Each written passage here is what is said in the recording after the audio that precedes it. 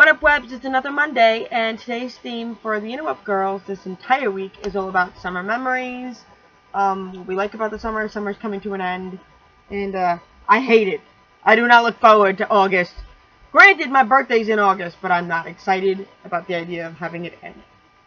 Um, I think my favorite memory was beginning of the summer this year, where I ended up going to California and got a lot of um, stuff in order that I needed to to really feel what I what was really for me. I mean, I I searched long and hard for a lot of things, and I wasn't expecting to find it again in a place that is so far away from everyone I know, and uh, I'm really excited about those changes.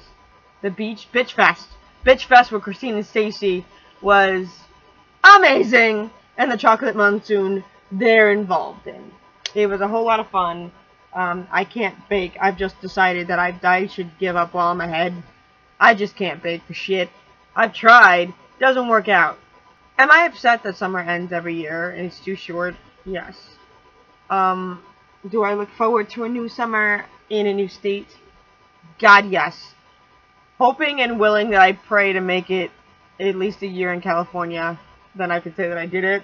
Great. Um, this summer has been very nostalgic for me because this will be my last summer here. I've hung out with my friends. I did some amazing things with music this year, um, which hopefully will come out soon. Uh, you'll hear more about that on the solo channel in a, in a couple of months.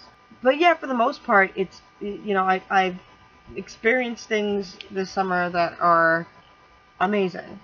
And um, it's a bittersweet summer ending for me because like I said, I won't be here much longer, and it's it's gonna be insane. There'll be a countdown video on my solo channel and stuff I want to talk about nostalgia-wise on the solo channel, but that's all for me for now about summer and the ending and how much it sucks.